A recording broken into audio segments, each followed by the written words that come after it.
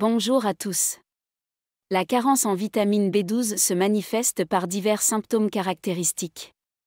Dans cette vidéo, nous allons les explorer en détail.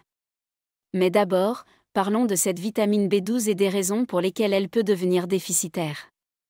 La vitamine B12, également appelée cobalamine, est une vitamine hydrosoluble comme la vitamine C et d'autres vitamines du groupe B.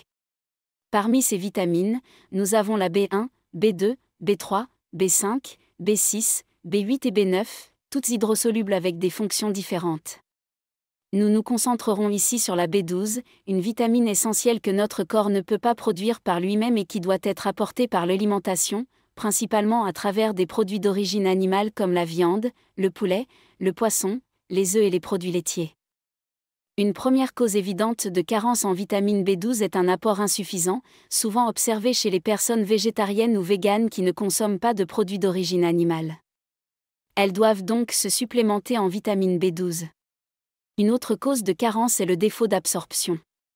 Même si la vitamine B12 est consommée, elle peut ne pas être correctement assimilée dans le tube digestif pour arriver dans le sang et être utilisée. Plusieurs pathologies peuvent provoquer cette malabsorption, comme l'anémie pernicieuse, une maladie auto-immune où les cellules de l'estomac responsables de l'absorption de la vitamine B12 sont détruites par nos propres anticorps. La vitamine B12 est essentielle au bon fonctionnement de deux enzymes, la méthylmalonyl-CoA-mutase et l'homocystéine méthyltransférase. Nous avons besoin de la vitamine B12 pour que ces enzymes fonctionnent correctement, ce qui est crucial pour trois systèmes importants le système nerveux central, la synthèse de l'ADN et la production de globules rouges. Un apport insuffisant en vitamine B12 entraînera des dysfonctionnements dans ces systèmes, provoquant des symptômes caractéristiques. Les premiers effets de la carence en vitamine B12 se manifestent souvent par des symptômes psychologiques. Cela s'explique par l'importance de la méthylmalonyl-CoA-mutase, une enzyme nécessitant la vitamine B12 pour fonctionner. Si cette enzyme ne fonctionne pas correctement en raison d'un manque de vitamine B12, le méthylmalonyl-CoA s'accumule, devenant toxique pour les neurones. À force de s'accumuler, cela va engendrer une neuropathie axonale, ce qui signifie qu'il y a des dommages dans les axones des neurones. Ces effets délétères vont entraîner l'apparition de symptômes de type dépression, qui restent légers et réversibles, accompagnés d'une augmentation de l'irritabilité. Un autre effet psychologique associé à une carence en vitamine B12 est la diminution des fonctions cognitives. Cela signifie que les capacités de raisonnement, de mémoire, de langage et même de motricité vont diminuer. Ces symptômes sont souvent retrouvés chez les personnes âgées, et il se peut que cela soit dû à une carence en vitamine B12. L'apport en vitamine B12 peut améliorer ses fonctions et ses troubles de mémoire. D'après plusieurs études, ces effets psychologiques apparaissent dans les premiers stades d'une carence en vitamine B12, ce qui en fait souvent les premiers symptômes à apparaître. Cependant, ce n'est pas toujours le cas. Lorsque la carence devient chronique et s'installe depuis un certain temps, d'autres effets peuvent apparaître, comme les effets neurologiques. Tout comme précédemment, ces effets sont dus à une augmentation excessive du substrat méthylmalonyl-CoA, qui s'accumule à cause du dysfonctionnement de l'enzyme et qui mène à une neuropathie axonale. À ce stade, les dommages risquent de devenir irréversibles si la carence reste non traitée pendant trop longtemps. Plus la carence dure, plus les dommages sur les neurones sont importants, jusqu'à devenir irréversibles. Les symptômes neurologiques qui peuvent apparaître à ce moment sont les paresthésies symétriques, qui correspondent à des engourdissements, des picotements et des sensations de brûlure. Ces symptômes surviennent principalement au niveau des membres inférieurs, c'est-à-dire des jambes et des pieds, et sont symétriques, apparaissant des deux côtés du corps. Un autre symptôme est le trouble de la démarche appelé festination, un symptôme de type parkinsonien.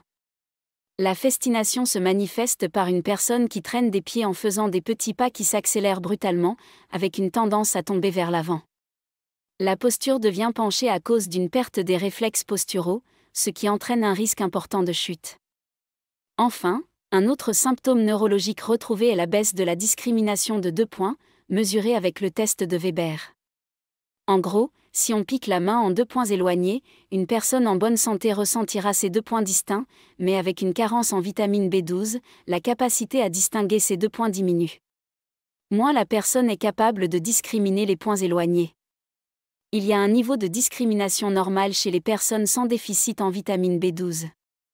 En cas de déficit, cette capacité de discrimination commence à diminuer, au point que même si les deux points de piqûre sont éloignés, ils auront l'impression que c'est au même endroit.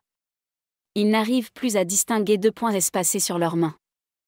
Il y a également une diminution de la proprioception, qui est la capacité à percevoir la position de nos membres dans l'espace. Par exemple, si nous fermons les yeux, nous savons si notre main est tendue vers le haut ou vers le bas. Cette conscience de nos parties du corps, même les yeux fermés, est la proprioception. En cas de carence ancienne en vitamine B12, cette capacité est affectée, ainsi que l'équilibre.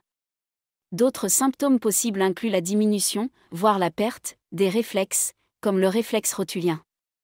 Le test du marteau sur le tendon permet de tester les réponses nerveuses du patient. Si cela ne répond pas, cela indique une atteinte des motoneurones. Les effets hématologiques sur le sang sont également notables. La vitamine B12 est importante et nécessaire pour la synthèse de l'ADN et la production d'érythrocytes immatures dans la moelle osseuse. Les érythrocytes, ou globules rouges, sont produits dans la moelle osseuse et passent par plusieurs stades avant de devenir des globules rouges matures dans le sang. La vitamine B12 est un maillon crucial dans ce processus. Un manque de vitamine B12 réduit la synthèse d'ADN, menant à des cellules anormales et diminuant la production de globules rouges, ce qui peut conduire à une anémie. Il existe de nombreux types d'anémie, et dans ce cas, il s'agit d'une anémie macroscopique, où les globules rouges sont trop gros, contrairement à une anémie microscopique due à une carence en fer, où les globules rouges sont trop petits. Les symptômes de l'anémie comprennent la fatigue, la difficulté à respirer, appelée bradypnée, respiration plus lente que la normale, et l'arythmie. Nous avons vu les effets typiques neuropsychologiques et hématologiques de cette carence. Maintenant, Passons à des effets plus atypiques, notamment les effets oraux et buccaux. Une carence en vitamine B12 peut causer des problèmes dans la cavité buccale ou les lèvres, comme la glossite, qui est l'inflammation de la langue. Cela se manifeste dans environ 25% des cas de déficience en vitamine B12, par une langue d'apparence rougeâtre et papilleuse, avec une sensation de brûlure et de grattement. On peut aussi observer une chéilite angulaire, qui est l'inflammation des lèvres avec des fissures au coin des lèvres très désagréables. Un dernier type d'effet possible concerne les effets dermatologiques au niveau de la peau. Ils incluent l'hyperpigmentation, avec des taches brunes qui peuvent même apparaître sur les ongles dans certains cas. Ces manifestations peuvent être précoces et apparaître dès le début de la carence en vitamine B12. Un autre symptôme cutané possible est la jaunisse, qui se traduit par une coloration jaunâtre de la peau et typiquement du blanc des yeux. La jaunisse est liée à la mauvaise production de globules rouges dont nous avons parlé au début de la vidéo. Certains globules rouges produits seront mal formés et devront être éliminés, ce qui mène à une hémolyse, la dégradation des globules rouges. Le produit de dégradation de ces globules rouges est la bilirubine. La bilirubine, produit de dégradation de l'hémoglobine, est un pigment jaune. Ainsi, une augmentation de la bilirubine dans le sang due à une hémolyse accrue entraîne la coloration jaune des téguments et de la peau. Un autre trouble cutané lié à la carence en vitamine B12, mais peu souvent mentionné, est le vitiligo. Le vitiligo est une maladie auto-immune où les mélanocytes, les cellules de la peau qui produisent la mélanine et donnent sa couleur à la peau, sont détruits. Quand les mélanocytes sont détruits, la coloration de la peau disparaît, ce qui entraîne des taches blanches de dépigmentation. Selon plusieurs études, la carence en vitamine B12 peut aggraver ce trouble, augmentant l'hypopigmentation. D'ailleurs, certaines études ont montré une amélioration de l'hypopigmentation après une supplémentation en vitamine B12, suggérant un lien entre la vitamine B12 et le vitiligo. Voilà pour les symptômes d'une carence en vitamine B12 je me suis vraiment concentré sur ces effets-là, mais je pense faire d'autres vidéos où je parlerai du métabolisme de la vitamine B12 et peut-être aussi de tous les bienfaits de cette vitamine. Dites-moi en commentaire si cela vous intéresse. J'espère que cette vidéo vous a plu. N'hésitez pas à aimer la vidéo et à vous abonner pour ne pas rater les prochaines. À la prochaine pour une nouvelle vidéo.